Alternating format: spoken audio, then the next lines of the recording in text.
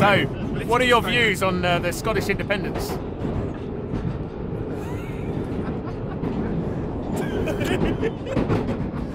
That'll do.